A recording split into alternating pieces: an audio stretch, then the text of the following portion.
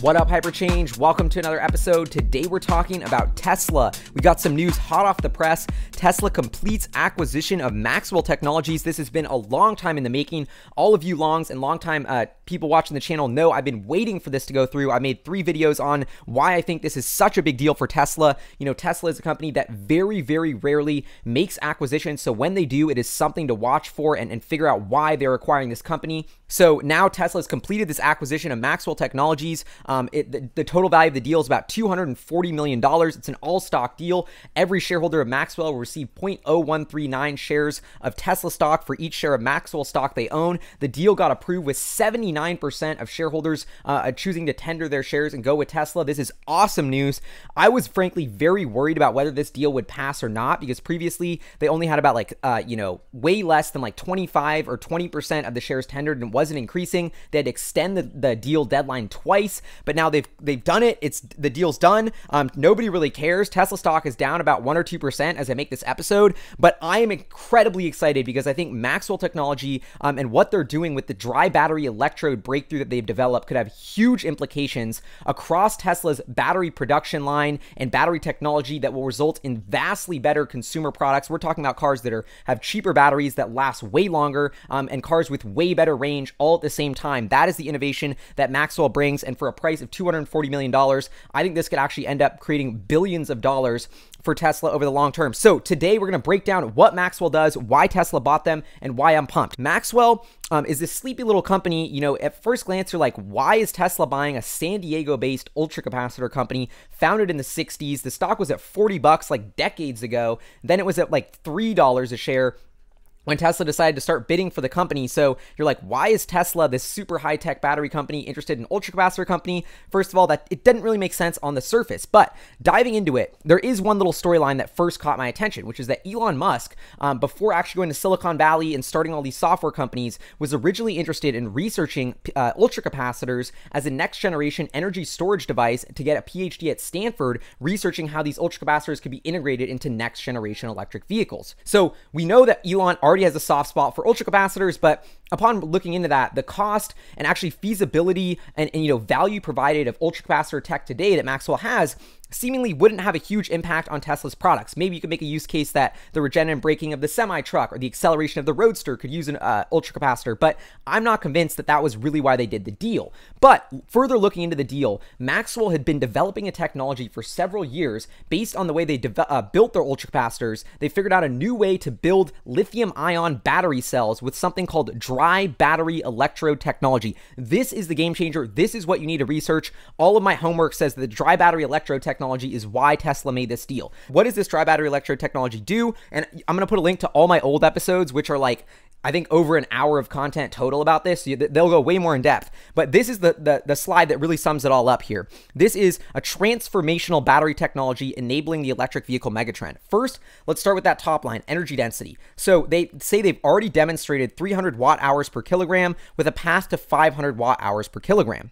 This is huge. The current energy density of the state of the art Tesla car, which is like the best in the industry, per my understanding, is about 250 or 260 watt hours per kilogram. So we're looking at about a 15% increase in the minimum of energy efficiency. And they also said they've demonstrated a path to 500 watt hours per kilogram. And remember that whole electric airplane VTOL jet idea that Elon has, that is supposed to be feasible at an energy density of 450 watt hours per kilogram. So in theory, this energy density breakthrough could allow them to go all the way to electric airplanes if it scales. So that's thing number one to get with this technology, huge breakthrough in energy density. Thing number two that makes a huge difference, especially given the Autonomy Investor Day, especially given the Robotaxi announcement of the Tesla network, that is the extended battery life. So these Maxwell batteries can increase battery life by 2x. So the finished product is way more durable. And you may remember at the Autonomy Day, Elon said the current battery packs go about 300 to 500,000 miles, um, you know, life cycle. But now they're thinking about doubling that with the next generation battery pack introduced next year, which could go a million miles. My guess is that was reliant on this technology from Maxwell. Then we've got the third thing, which is a cost reduction. There's a 16 production, 16x production capacity density increase increase. What does this mean? Well, the biggest thing about the dry battery electrode is that it's a dry battery electrode versus the industry standard of a wet battery electrode, which it means you have to coat the electrode in this extremely toxic solvent, which is extremely pollutive. So you coat it in this toxic solvent, and then you have to have a massive drying oven to dry all these cells to get that solvent to dry. Well, if you have a dry battery electrode with no solvent, you A, you don't have those chemicals, so it's more sustainable production process, and B, you don't have these massive drying ovens that, in my opinion, are probably taking up a huge amount of space at the Gigafactory. So that massive decrease in production. So first of all, you don't have to wait for the things to dry, you don't have to use all the chemicals, and you don't need the space for the ovens. So this all leads to huge cost reductions. And so what Maxwell's saying is we not only have better energy density, not only have longer life, but we have a 10 to 20% reduction in cost. And so this is incredible. And then the last point is what I just mentioned about that it's there's no solvents required and you can use next generation materials. So this sounds almost too good to be true. So now you might be saying like, okay, well, okay, great. You know, the stats look great on paper, but Tesla bought it. It's probably all vaporware. You know, all the skeptics are saying this will never actually happen. Those numbers won't get hit. Well, here's here's my understanding of how this went down and why I'm a believer that this is a lot more closer to reality than just, you know, numbers on a spreadsheet. Because if you read into Maxwell's development and their quarterly conference calls, and this is what I made my other videos about, in Q1 2018, they began initiating with a huge auto OEM to pilot this technology and essentially scale it up and, and do a proof of concept. And this is exactly in line with what Elon and Musk and JB Straubel have long said. They're like, look, we're the biggest battery fa- manufacturer, electric vehicle company in the world. We are constantly scouring for new battery breakthroughs and innovations. Every single person that has a battery breakthrough, should, we should be the first person they come to because we have the most batteries to make most advantage and take make the most money out of that breakthrough. And so they're constantly seeing these new battery technologies, testing them, validating them, and they're extremely picky about what they buy because if it's not been validated and it won't work, they don't care. And so what happened with Maxwell? In Q1, they do a pilot program with an anonymous auto OEM. My guess is Tesla. Q2, they say that that auto OEM actually brought in its own new cell chemistry to test the wet electrode or to test the dry electrode. So actually wanted to make basically custom cells that it designed using this dry battery electrode process. So my guess is that was once again Tesla saying, okay, well, if we bring in our chemistry, let's see if this still works. Then in the Q3 2018 Maxwell earnings conference call, I just want to read you this quote. Next, let me provide an update on our dry battery electrode technology, which I believe is the future crown jewel for our company. Execution on refining our patented technology and to scale up of our cell building capabilities is progressing according to plan and creating significant long term opportunities. Product samples delivered to potential partners are being very well received, and new business activity is growing. Understand this is a longer term mission for Maxwell and it will take time for revenue to materialize, but when it does, we expect to change it to change the landscape of the company. We have already initiated to scale up all of the pilot line. We are preparing to accelerate investment immediately following the execution of a commercialization agreement with a new partner. So, in Q1, we have the initial test, in Q2, we have the test with the chemistry, in Q3, they're saying we've ramped this up and and we're giving the product samples and the pilot line is working well. So, Tesla actually built a pilot line producing these cells, is my understanding. And instead of doing that execution of a commercialization agreement, Tesla came in, and you can read this in the SEC filings of the deal, which is in one of my old videos. And they basically said, okay, we want to buy you. We don't want to do a commercialization deal. And then they also even blackmailed them basically and said, if you don't let us buy you, then we're going to stop doing business with you and we won't buy all these dry battery electrodes. But so on the flip side,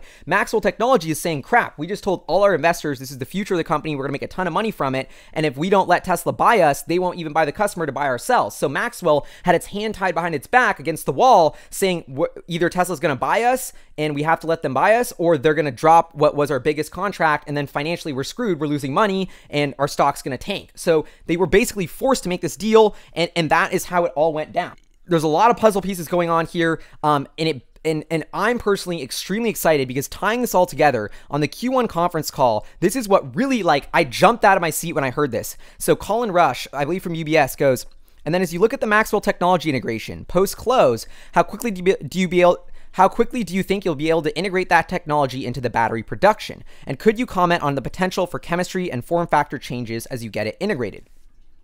Elon goes, I mean, you're really asking some pretty su- super secret sauce questions here. I think, yes, we'll have, I think, probably an investor day like Autonomy Day, maybe later this year or early next year, just to go over the cell and battery technology and future strategy, and think this will be very informative. But we do recognize the criticality of this. So Elon even says basically that the Maxwell technology is the secret sauce. Once they get this integrated, they're going to do a whole investor day like the Autonomy Day about battery technology. And my guess is, what are they going to talk about at that battery investor day? I'm going to give you a sneak preview.